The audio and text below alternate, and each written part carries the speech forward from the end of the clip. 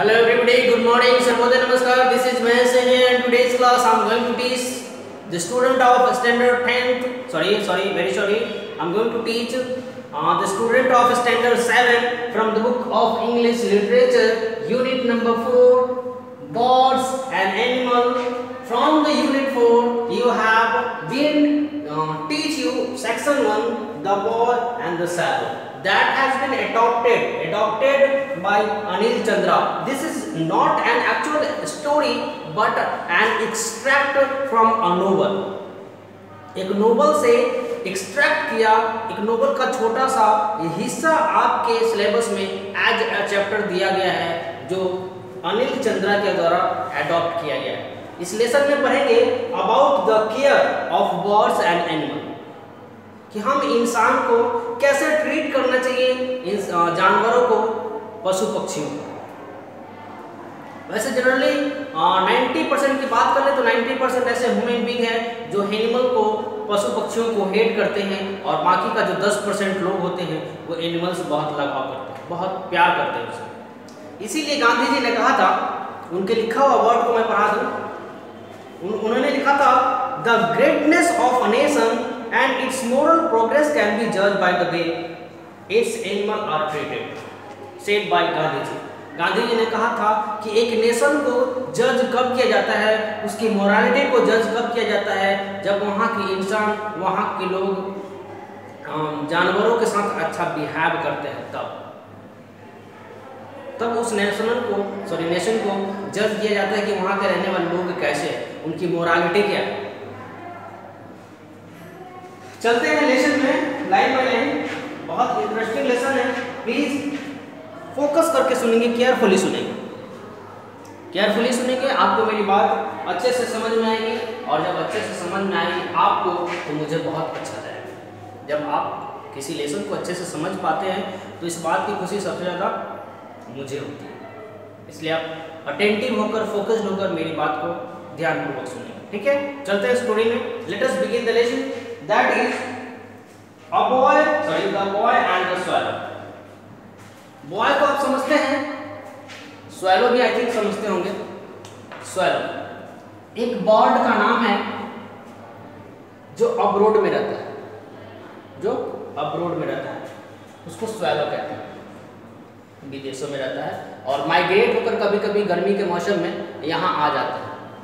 और फिर ठंड के मौसम यहाँ से चले जाते हैं, क्योंकि उनको ठंड बर्दाश्त नहीं होता, इसीलिए वो माइग्रेट करते हैं राइट चलते हैं। लिखा गया सबसे पहले ये जो मोटे मोटे अक्षरों में लिखा गया है, ये वाली बात, ये मैं बताने जा रहा हूँ आपको, जिसमें लिखा गया है one of the tiny claws of of its count in high voltage electricity line the boss hangs from the wires and its helplessness make the heart on eleven year old boy accident he uh, longs to rescue the birds will he able to save the swallow?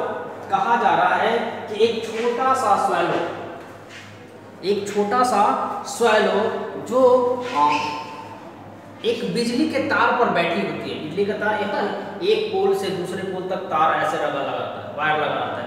आजकल तो cover वाला तार आ गया लेकिन पहले की बात बताए तो वो नंगा तार हुआ करता तो उसमें कवर नहीं होता और उस नंगे तार पर जब वो छोटा सा सॉरी स्वैलो का बच्चा बैठ गया तो उसका जो क्लॉ हो है उसका जो पाम होता है पंजा वो उस वायर में चिपक गया। मतलब उसको करंट लग गया। और करंट लग के वो छोटा सा स्वैलो उस पर से लटक गया। वायर से लटक गया। उसको देखकर, इस इस चैप्टर में जो ये बॉय है, ये बॉय उसके नाम है H A C H H अब ये 10 साल का बच्चा है और उस पक्षी की दशा देख कर इसका मन पिघल जाता है, हृदय पिघल जाता है और उसको बचाने की कोशिश करता है। अब जानेंगे लेसन में कि क्या वो 10 साल का बच्चा उस पक्षी को बचाने में कामयाब हो पाता है या नहीं। जानते हैं लेसन में? लिखा गया है high edge of the earth the power lines stretch across the flat stretch across the flat right यहाँ मैं बता रहा हूँ just a just okay. बताया जा रहा है सबसे पहले लाइन में high em of the earth the power lines stretches across the flat unchanging field बताया जा रहा है कि आकाश के ऊपर, आकाश के ऊपर मतलब पृथ्वी के ऊपर, जैसे पोल होता है दोनों तरफ़, बिजली का खंभा और इस खंभे से, इस खंभे तक वायर फैलाई जाती है। यही कंडीशन यहाँ लाइन में सबसे पहले बताया जा रहा है कि अर्थ के ऊपर, भूमि के ऊपर एक पावर स्ट्रेच किया गया था। पावर मतलब बिजली की ऊर्जा, पावर मतलब बिजली की शक्ति को एक दूसरे पोल से फैलाया गया था।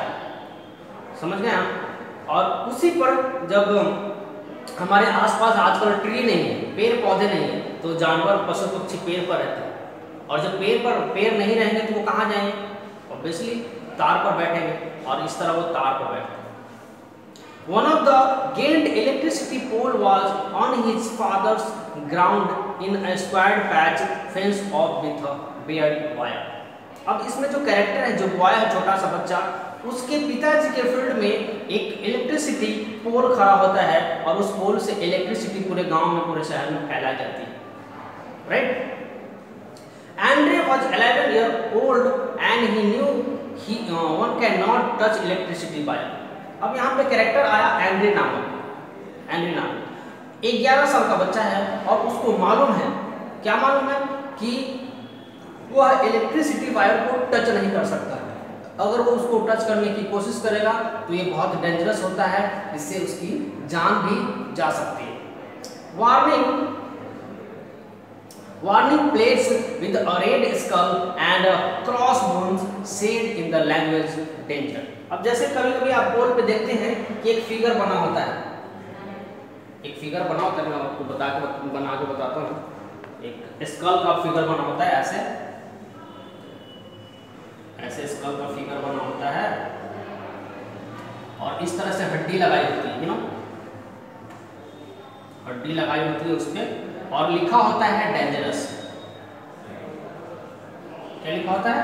डेंजरस और यही पोल पर लिखा हुआ था और वो एंड्रयू नाम का ग्यारह साल का बच्चा उसको देखकर बात समझ रहा था कि इसको छूने से बहुत खतरा हो सकता है। In the next paragraph Andrei was a day dreamer and the power line open for he him a door a door in far of world of magic a world where there were big machines and निजी. अब बता रहा है कि Andre नामक जो लड़का था वो डे ड्रीमिंग था। डे ड्रीमिंग मतलब खुले आँख से स्वप्न देखना। बात समझ रहे हैं? खुले आँख से ख्याली पलाव बनाना सपना देखना। इस बच, इस तरह के बच्चे को कहते हैं डे ड्रीमर बॉय अब ये जो एंड्री था वो ख्याली पलाव बनाया करता था। क्या बनाया करता था? ख्याली पलाव। और उसके घर के आगे जो उसका दरवाज़ा था, उसी के आगे एक बिजली की खंभा लगी हुई थी और उस पर से बिजली दौड़ती थी। बिजली दौड़ना समझते हैं ना? ऐसे आप जैसे इंसान जानवर दौड़ता है, वैसे नहीं।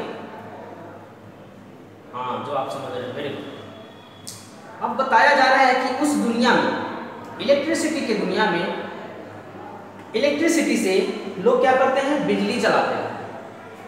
हम हमारे हमारे घर में बिजली, पंखा टीवी, रेफ्रिजरेटर, प्ला प्ला प्ला प्ला, सारा मशीन यूज़ करते हैं, सारा मशीन चलाते हैं, लेकिन इसका एक बहुत बड़ा यूज़ होता है मशीन में, फैक्ट्रियों में, कल कारखानों में इसका बहुत बड़ा यूजेज होता है। यही बात एंड्रयू बताने की कोशिश कर रहा है कि जो इलेक्ट्रिसिटी है, वो फैक्ट्री में यूजेज ज़्यादा होता है and that is why the state of electricity is very on clear evening when in the swallow gathered he loved to hear the birds make excited twittering sound he loved to see how they flew off the copper wire into space and how they up curved uh, wings lifted them in the air and they were flying thousands of kilometers over land and sea and mountain to countries he had uh, never dreamed of.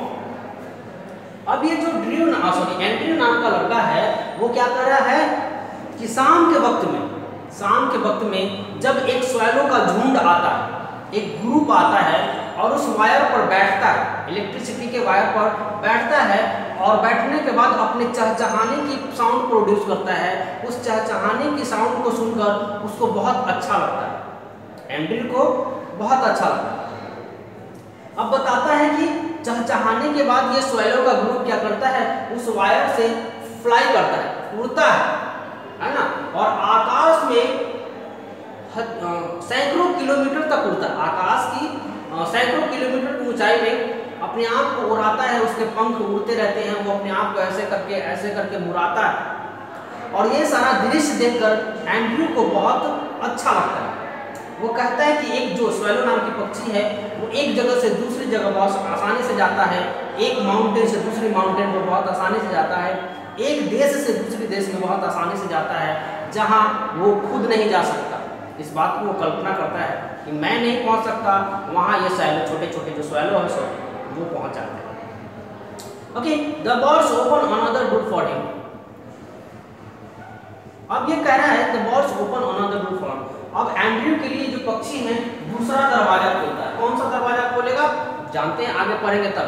He watched the swallow one morning as they took off from their perch on the power line अब बताया जा रहा है कि एक अगली morning को एक अगली सुबह को जब वह बाहर निकला अपने दरवाजे से तो उसने पाया कि कुछ स्वेलोज हैं कुछ पक्षी हैं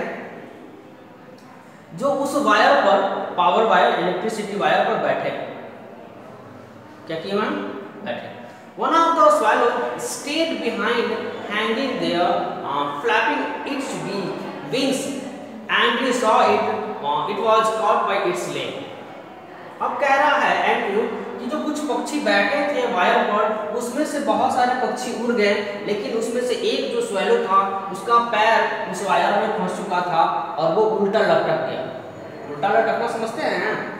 मान लिया ये इलेक्ट्रिसिटी वायर है और इस पर क्या हुआ? ये पक्षी यूँ यूँ लटक गया। बात समझ गया? यूँ लटक गया। और उस लटके हुए पक्षी को देखकर एंड्रयू क्या करता है? Andrew saw it but uh, Henry saw it and caught by leg and he wanted to rush back and tell his mother. But uh, she would scold him for being late for school. अब Andrew जब इस पक्षी को इस तरह लटका हुआ पाता है तो वो सोचता है कि वो जाकर अपनी माँ को बताएगा। लेकिन वो अपनी माँ के पास नहीं जाता है।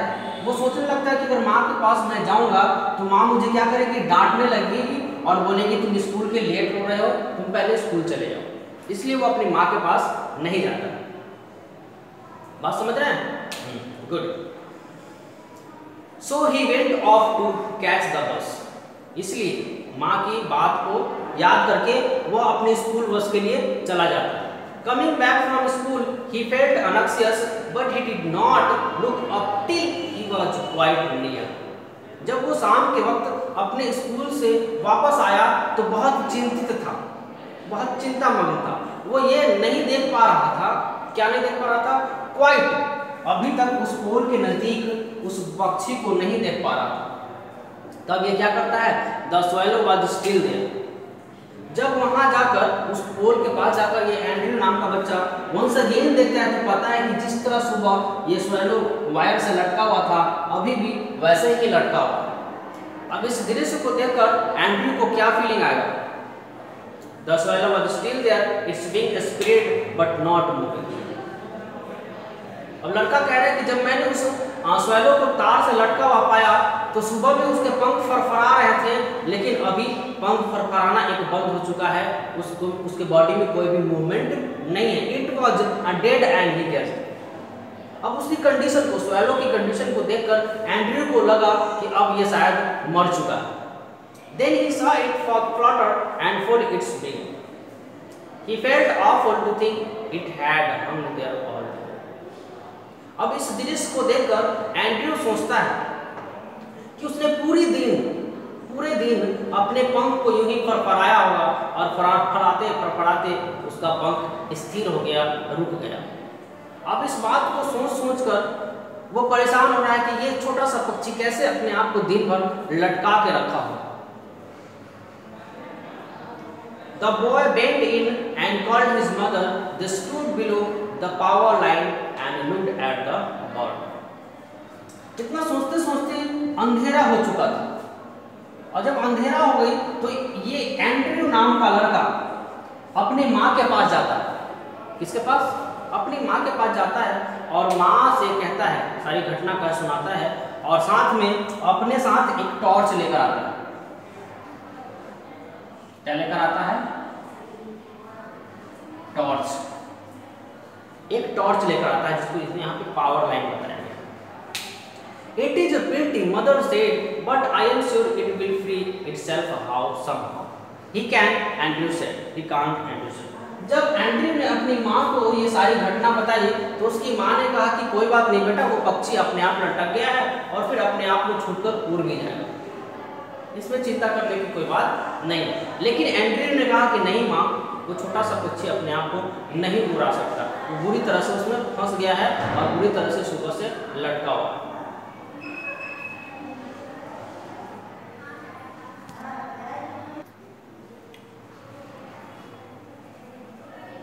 ये बच्चा अपनी माँ को कह रहा है कि नहीं, माँ वो छोटा सा पक्षी अपने आप को वहाँ से नहीं उड़ा सकता। वो दिन भर लटकता रहा है and I have to look at him मुझे इस टॉर्च के सहारे अंधेरे में उसको देखना पड़ेगा। Yes, he will, said quite firmly and went in. His father came home at six and had a tea.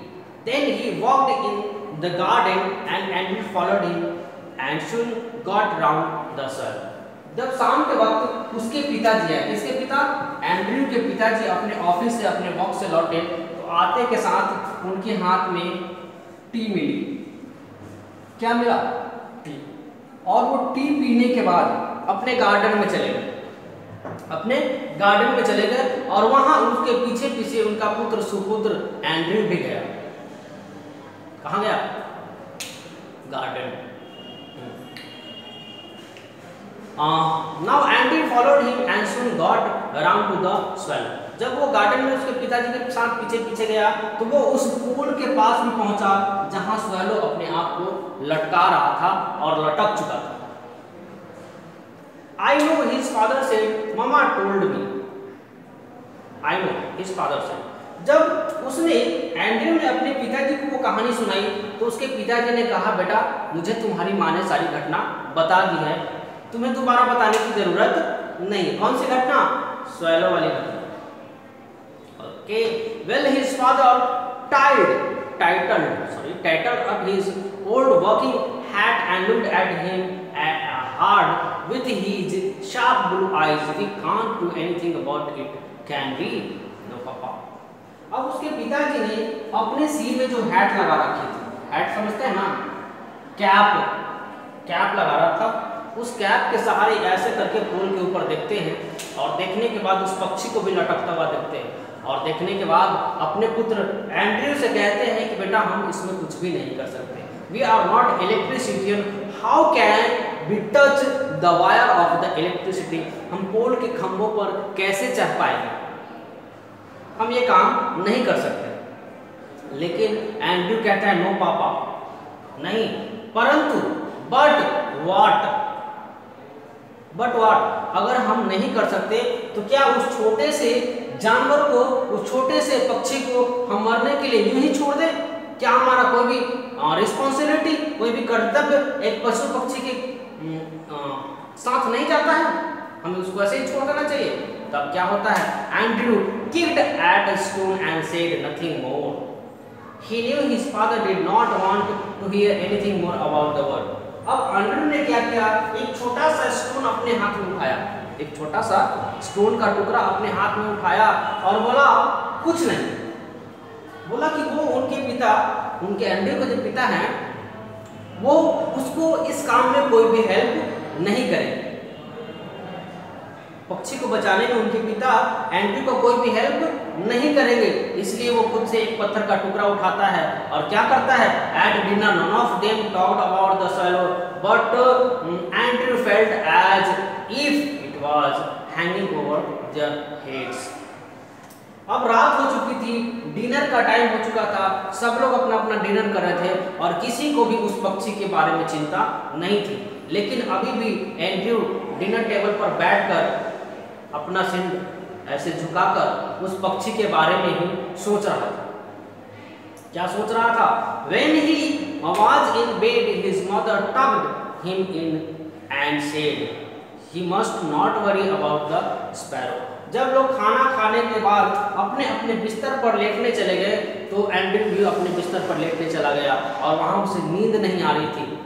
उसकी कंडीशन को देखकर उसकी माँ उसके पास जाती है और उसका सिर सहलाते हुए कहती है। क्या कहती है? बेटा, चिंता करने की कोई ज़रूरत नहीं। उस पक्षी के लिए तुम्हें चिंता करने की कोई ज़रूरत नहीं है। क्यों नहीं है ज़रूरत?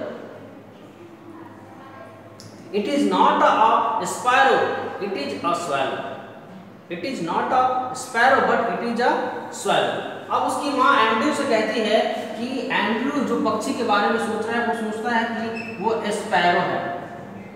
लेकिन वो स्पैरो नहीं होकर क्या होता है? स्वैलो एंड्रू समझता है कि वो स्पैरो है, लेकिन वो स्पैरो नहीं होकर क्या होता है? स्वैलो और यही ध्यान भटकाने के लिए उसकी माँ उससे कह रही है कि बेटा स्पैरो नहीं है, वो स्वैलो जिसकी तुम चिंता कर। उसके बारे में चिंता करने की तुम्हें कोई आवश्यकता नहीं है। He said it is going to hang there all night, but by its good, his mother signed and put out the light. अब वो लड़का जो है एंड्रयू वो सोच रहा है कि वो छोटा सा पक्षी दिन भर लटकता रहा है और अब पूरा रात लटकता रहेगा। पूरा रात लटकता रहेगा। उसकी माँ ने उसका सिर थपथपाते हुए कहा कि बेटा अब सो जाओ। और इतना कहकर माँ ने कमरे का लाइट ऑफ़ किया और वहाँ से चली गई। The next day was a Saturday अब वो जो रात बीत गई, उसके बाद सैटरडे का दिन आने वाला था। उसके बाद कौन सा दिन आने वाला था? सैटरडे का दिन आने वाला था। Okay it was a holiday अब जैसा आप जानते हैं सैटरडे संडे स्कूल की छुट्टी होती है है ना? तो उस लड़के की स्कूल में भी छुट्टी थी Saturday first thing he did was to look up at the wire the bird was still there अब सैटरडे को जब छुट्टी थी तो उसको स्कूल नहीं आना था, और वो सबसे पहले बिस्तर छोड़कर सबसे पहले उसी पोल के पास जाता है और देखता है कि वो पक्षी अभी भी लटक रहा है। जैसे वो कल लटक रहा था, आज भी वो वैसे ही लटक रहा है। He would rather have been at school instead of knowing all day that the swallow was hanging up there on the cruel wire. अब जब वो पिछले दिन स्कूल गया था तो वो पूरा दिन स्कूल में भी उस पक्षी के बारे में सोचता रहा। सोचता रहा कि उस क्रूर वायर क्रूर वायर के साथ क्रूर वायर के साथ वो छोटा सा पक्षी कैसे लटक रहा होगा, उसकी जीवन बच पाएगी या नहीं बच पाएगी। The morning was very long the morning was very long अब कह रहे हैं कि जो सुबह थी, उस दिन का बहुत लंबा हो गया। He tried to forget about the swallow by building armoured for at mid day when he was coming home he had one more look at what he saw kept rooted to the spot अब वो कह रहा है कि उस दिन का जो सुबह थी, वो बहुत लंबा हो गया था। है ना? वो अब स्वेलो वाली बात को भुलाने के लिए एक मॉड फॉर्ड किया। मॉड फॉर्ड मतलब कीचड़ से, कीचड़ होता है ना? कीचड़ के साथ खेलना, उससे घर बनाना। कीचड़ से गीली मिट्टी से ही ना गीली मिट्टी से घर बनाना। घेरौंदा जिसको बोलते हैं, जो हम लोग दीपावली पे बनाते हैं। उस घरौंदे में वो दिन भर बिता दिया कि वो उसकी, उसको किसी भी तरह उस स्वैलो के बारे में कोई भी आइडिया, कोई भी दिमाग में ये बात आए ही नहीं। जब दोपहर हो गई दोपहर हो गई तो जब अपने घर को वो वापस आ रहा था तो वापस आते समय उसके दिमाग में फिर से वो आइडिया आया। स्वैलो वाली बात, उसके दिमाग में वापस आ गई। और वो उस स्पॉट पे, उस पोल पे जाकर उस पक्षी को फिर से देखने लगा। Others swallows were hovering about the trapped bird trying to help him अब उस समय एंड्रयू ने देखा कि वो जो पक्षी पहले से लटका हुआ था, उसको बचाने के लिए बहुत से पक्षी बहुत से पक्षी उसके आसपास उड़ रहे हैं और शोर मचा रहे हैं। है ना? उस पक्षी, जो लटका हुआ पक्षी था, उसको बचाने के लिए बहुत सारे पक्षी उसके आसपास उड़ रहे हैं और कोलाहल मचा रहे हैं साउंड प्रोड्यूस कर रहे हैं उसको बचाने के लिए। लेकिन वो पक्षी नहीं बचा सकते उसको। अब ये जब तिरिश एंड्रयू देखता है, तब वो क्या करेगा? He reached inside and dragged his mother out. वो अपने घर के अंदर गया और अपने माँ को खींच कर बाहर लाया। खींच कर मतलब अपना, अपनी माँ का वो हाथ पकड़ा और बाहर खींचकर ले आया।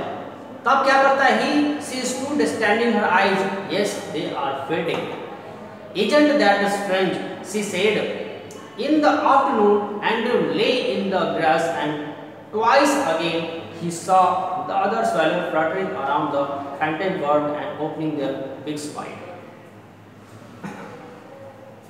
अब जब माँ ने उस पक्षियों को देखा, जो फंसे हुए पक्षी को बचाने की कोशिश कर रहे थे, उस पक्षियों को देखकर उसके माँ के मन भी कहीं ना कहीं सिंपैथी आ गई, कहीं ना कहीं सहानुभूति आ गई।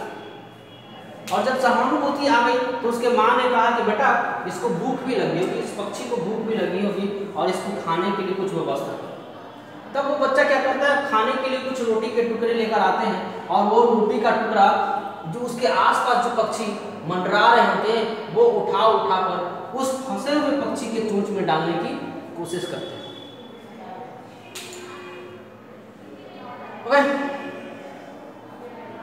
Andrew felt choked Andrew felt choked अब कह रहा है कि एंड्रयू अपसेट फीलिंग कर रहा था। एंड्रयू की फीलिंग अपसेट हो चुकी थी, वो समझ नहीं पा रहा था how he can rescue how he can save the life of the bird ये उसके दिमाग में यही आइडिया चल रहा था। Thinking about how they help it his own parents on the other hand and would not even talk about it with his keen eyes, he traced a way to climb and could get the अब ये लड़का Andrew कह रहा है कि उसके माता पिता तो उसको मदद करने से रहे। उसके माता पिता उसको इस काम में मदद नहीं करेंगे। कौन सा काम में? उस पक्षी को बचाने का काम तब वो लड़का क्या करता है?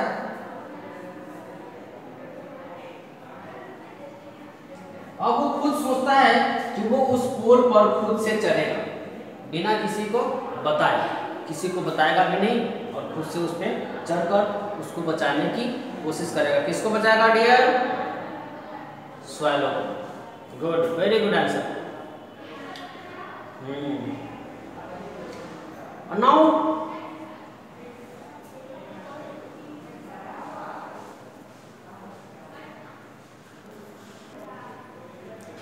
उस पक्षी को बचाने का आइडिया एंड्रयू के दिमाग में चलने लगा। लेकिन वो फिर सोचने लगा कि अगर वो किसी तरह से पोल के पास पहुँच भी जाएगा तो उस पक्षी को वो कैसे छू पाएगा जो इलेक्ट्रिसिटी वायर के साथ संपर्क में अगर वो इस पक्षी को छुएगा तो उसे करंट लग सकती है और जब करंट उसे लगेगी तो उसकी मृत्यु भी पॉसिबल है। इस बात को वो अपने दिमाग में चला रहा है। कैसे वो उस पक्षी को बचाए और खुद को भी बचाए? अब इसके लिए वो क्या करेगा? The only way out was to get somebody to turn off the power off power for a minute अब वो कह रहा है कि कोई ऐसा इंसान उसे मिले जो एक मिनट के लिए बिजली काट दे मतलब लाइन काट एंड्रियो सोच रहा है कि उसे कुछ कोई ऐसा इंसान मिले जो एक मिनट के लिए लाइन काट दे। बिजली कट हो जाए एक मिनट के लिए, और वो एक उस एक मिनट में उस पक्षी को बचा देगा। क्या उसे ऐसा इंसान मिल पाएगा? आगे पढ़ेंगे तब पता चले then he could clean up the tower like a monkey at dinner night. He suggested it and his father was grim and अब वो लड़का क्या कर रहा है? इस पक्षी को बचाने के लिए जो आइडिया सोचा था कि कोई एक मिनट की लाइन काट देगा, इस ये बात जब वो डिनर का टाइम अपने पिताजी को बताता है तो पिताजी उसके बात को सुनकर बहुत क्रोधित हो जाते हैं। बहुत गुस्से से भर आते हैं। Listen son he said I don't want you to get all worked about that word you leave it alone पिताजी ने उसे, उस बच्चे को डांटते हुए कहा कि तुम्हें उस पक्षी के बारे में इतना चिंता करने की कोई ज़रूरत नहीं है। अपनी जान जोखिम में डालने की कोई ज़रूरत नहीं बस अभी के अभी उस पक्षी के बारे में सोचना बंद कर दो। उस पक्षी को भूल जाओ तुम पूरी तरह से। तुम्हें उसके लिए कुछ भी करने की ज़रूरत नहीं है। On Sunday night he to his mother Saturday के बाद संडे आया और संडे को अपनी माँ से वो क्या कहता है? उसने अपनी माँ से कहा it is only the other that are keeping him alive they were feeding him again today अब संडे के दिन अपने माँ से एंड्रयू कहता है कि वो पक्षी जो अभी दो दिनों से लटका पड़ा हुआ है, उसकी जीवन, उसके पक्षी बताते हैं, बचाते हैं। उसके जो और भी मित्र हैं, पक्षी के जो पक्षी मित्र हैं, वो मित्र उसको रोज दिन खाना खिलाते हैं और उसी खाने को खाकर ये पक्षी अभी तक ज़िंदा है, नहीं तो वो कब का भूख से मर चुका होता।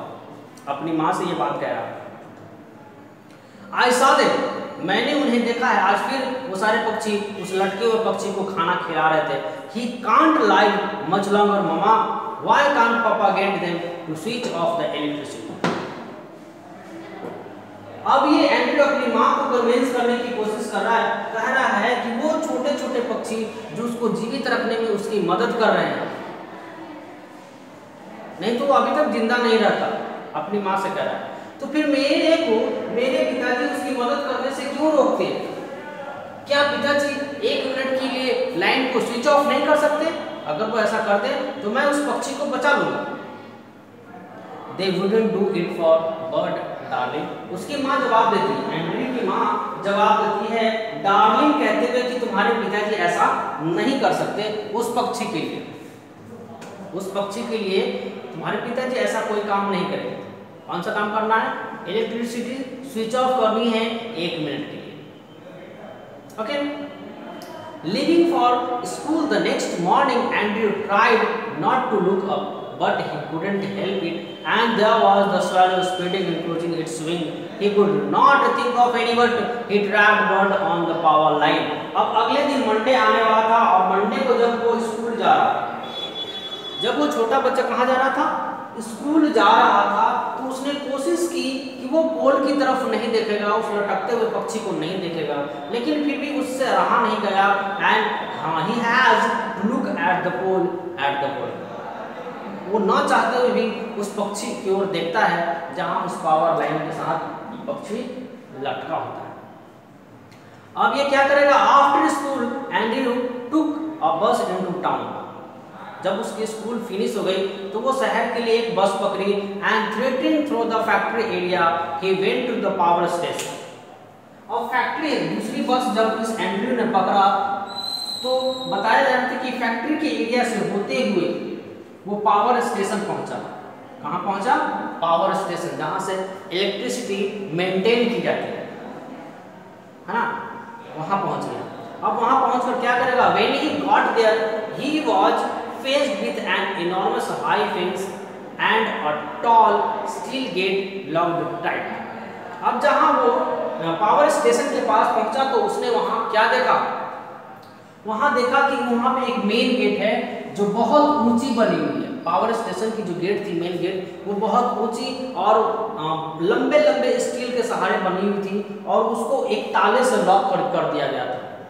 उस गेट को ताले से लॉक किया गया था। Andrew peered through the gate and saw some men who were off duty sitting in the sun अब जब वो गेट के सहारे झांकता है अंदर ये जो गैप बना हुआ है गेट के अंदर। इस गैप के सहारे एंड्रयू जब अंदर झांकता है